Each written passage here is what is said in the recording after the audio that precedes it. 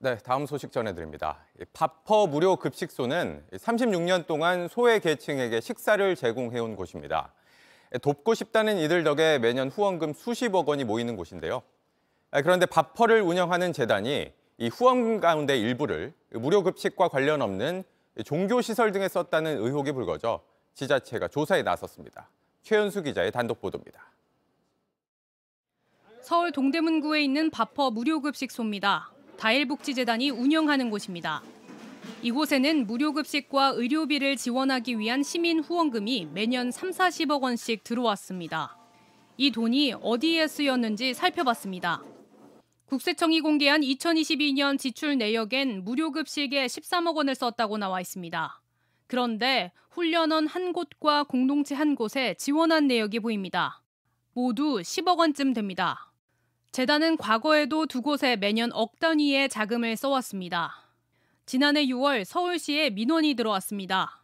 무료 급식 등에 써달라고 낸 후원금이 목적과 달리 공동체와 훈련원 같은 종교시설 등에 쓰였다는 취지였습니다. 관할인 동대문구청도 지난해 12월 동대문 세무서에 조사를 요구하고 관련 자료를 넘겼습니다. 관련 법령에는 정관을 위배하면 법인 설립 허가를 취소할 수 있다고도 돼 있습니다. 이 재단 정관에는 각종 부대 사업이란 조항은 있지만 종교 시설과 관련된 내용은 없습니다.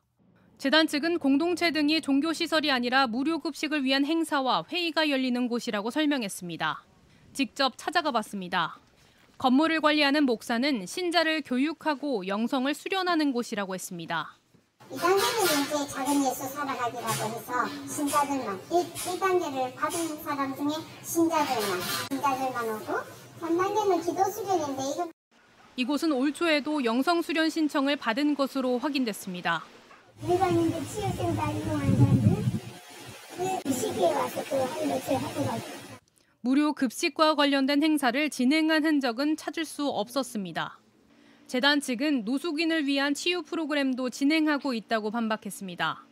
복지 목적으로도 쓴다는 겁니다. 하지만 노숙인 치유 프로그램은 10년 전에 끝났습니다.